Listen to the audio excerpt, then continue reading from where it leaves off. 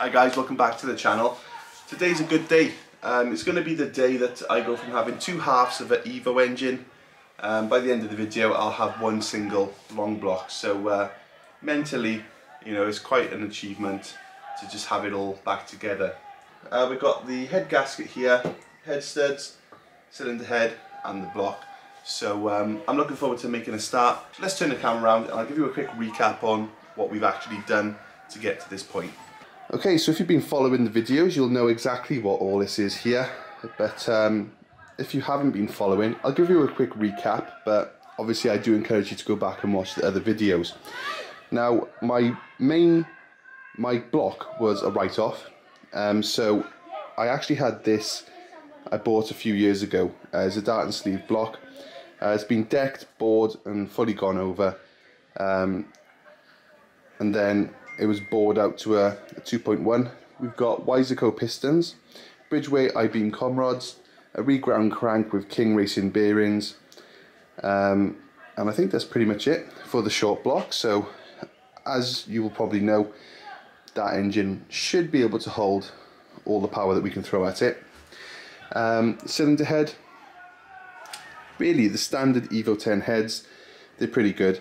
Um, but when I was just doing some basic maintenance on this, which is in the previous video, um, we found a few issues that needed to be resolved. So had to relap all the exhaust valves, replace the intake valves with GSC power division valves, uh, GSC power division uh, valve stem seals, Supertech dual valve springs and titanium retainers. So pretty much uh, a built valve train. Um, here we got ARP head studs and nuts which are reused from the last build. You can reuse ARP head studs. I think it's five times. Um, and then we got a MLS so multi-layer steel uh, Cometic head gasket. So um, very high-end gasket should do the job for what I need out of it. A lot of work to get to this point. Now uh, I suppose I'd best set the camera up and make a start on installing the cylinder head so before we go actually installing the cylinder head, there's a few things I've got to do first. So the first thing I had to do was phone up Ross Sport and order some more parts. Uh, one of the parts was this. It's basically uh, like an inline oil filter. It sits in the deck of the block there.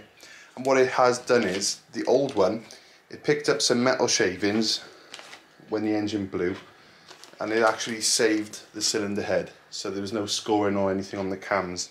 Um, but obviously it's a good idea to just replace it since it's only about 10 quid.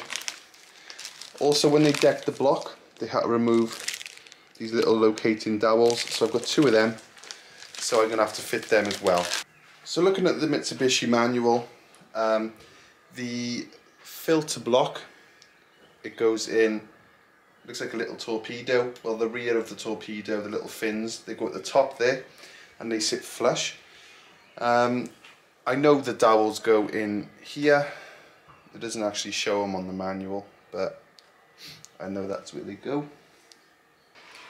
So one by one, you want to dip the thread of the stud into some engine oil and put them all in. So work our way around like that.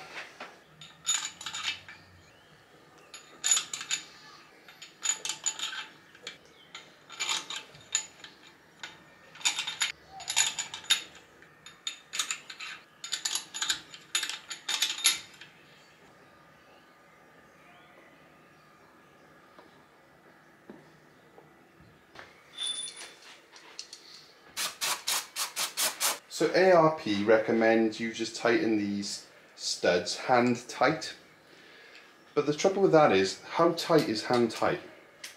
Now, Speed Academy had an Evo and they blew a head gasket. They were putting the studs on hand tight.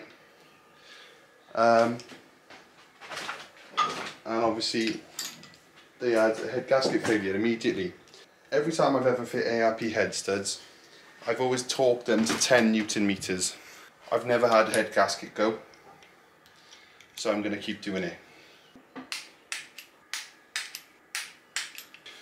Okay, so now the head studs are installed and torqued up, I've got to apply a little bit of sealant. Now you can't just use any old cheap sealant from the shop. Something like this, you really want to be using proper stuff like Loctite SL5699, that's one I've got. Apparently that's the exact formula Mitsubishi used in the factories. So that's why I go with that. Um, there's a lot of different Loctite ones you can get, all, all of them pretty good. You've got different applications, like a friend of mine bought one, it was black and it was non-setting. So obviously you don't want to be using that um, on most jobs that you do on your Evo because he, he was having leaking issues then. So pay attention to the sealant you use and get a really good one. Like that little tube there was 40 odd quid I think, which is a lot isn't it for silicone but I really don't want this leaking. Okay so we're getting somewhere. Now I'm just going to install the head gasket. It does say on the head gasket which side is up. So there it says up. So that's what way up is going to go.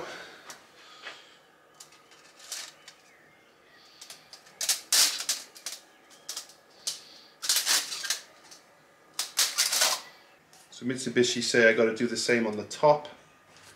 I got to put more silicone down here. And I think I need to get a bit on this edge, like a big nice blob of it.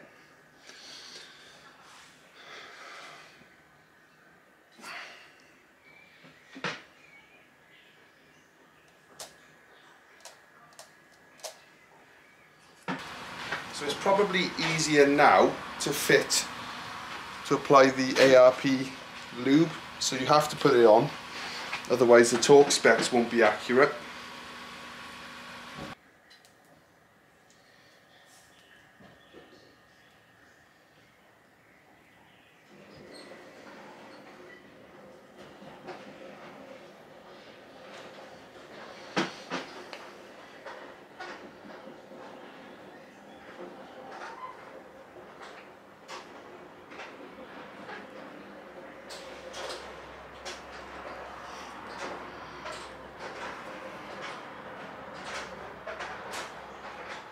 Just going to rub it into all the threads. It's much easier to do it with the head off.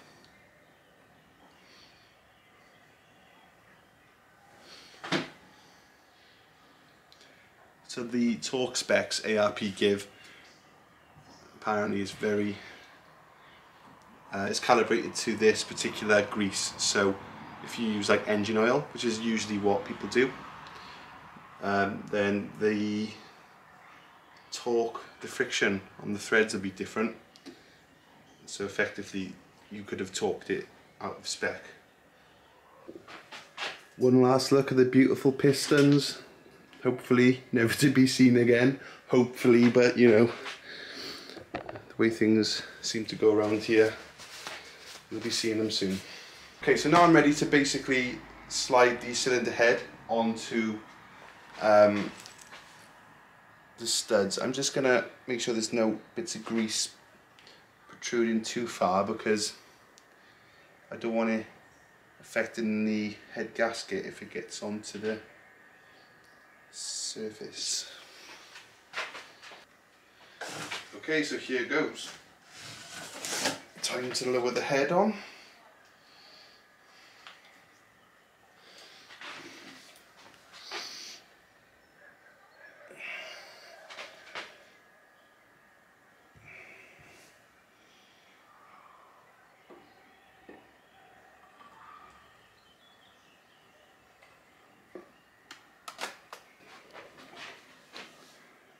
There it is.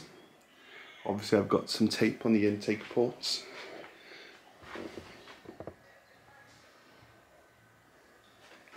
We'll have a better look now once it's uh, been fully installed. One thing I did do, although it's not required, I bought some brand new nuts um, because some of the threads were looking a little bit, not threads, the head of the nuts were looking a little bit uh, sus. So I decided to um, just replace them, play it safe. So I've got to get these washers in, so I put a screwdriver in the middle and then the washer just slides down then. It can't go anywhere else. Okay, so it's time to torque the head studs now. Um, I've already torqued number one to 30 foot pounds, which was that one. Then we got to go uh, two, three, four, five, six, seven, eight, nine, ten. So start at 30, then 60, then 90, and then it's done.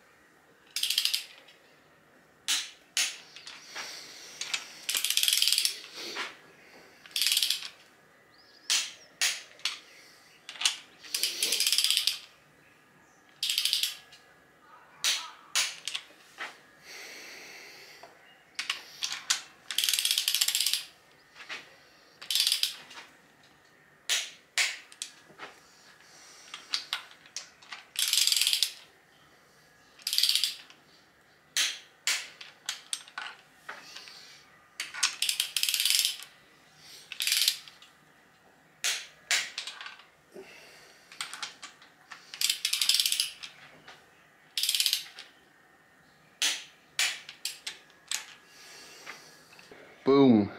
So there it is. The head is now on, fully torqued up and fully sealed. Um, just put some shock towels into the uh, spark plug holes. I was thinking of fitting the plugs, but when I'm timing it up, I need the plugs out so that there's no compression. So here we can see the, um, the silicone here that's just squelched out as it's been torqued. So we just want to smooth that out. Uh, that's going to be getting its own seal at a later date.